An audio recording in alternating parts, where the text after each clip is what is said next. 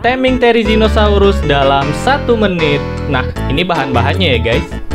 Pertama kalian pasang foundation, lalu kalian pasang door frame guys. Terus kalian pasang rem ya. Jangan lupa kalian pasang rail di atasnya. Terus kalian pasang fence foundation guys. Di sampingnya ya, miring seperti ini guys. Nah, kalian pasang ketinggian 3 ya. Oke, kalau udah seperti ini, tinggal tarik Terizinonya deh. Kalian harus lari ke samping guys, biar Terizinonya masuk ke dalam trap ya. Kalau sudah ke trap seperti ini, tinggal dikenok aja deh.